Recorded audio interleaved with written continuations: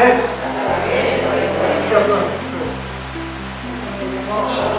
encontramos eh, iniciando la capacitación de lenguas de señas y la verdad es que estamos muy contentos con la convocatoria porque han acudido aproximadamente 70 personas. Esta capacitación es abierta, es gratuita, la ofrece la municipalidad.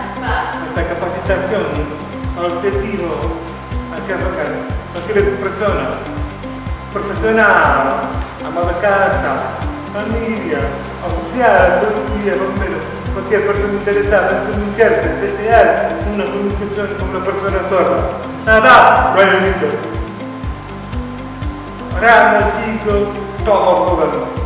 Lo que queremos es que vengan, no vengan con la idea que van a aprender así todos tenemos tiempo, pero todos podemos. Soy sordo, nadie presenta. La idea es que todos puedan venir a aprender a comunicarse, a lograr una integración de la comunidad sorda. Eh, eso, de que podamos aprender a compartir y que somos todos iguales, de, eliminar lo que es el autismo que estuvimos explicando hoy.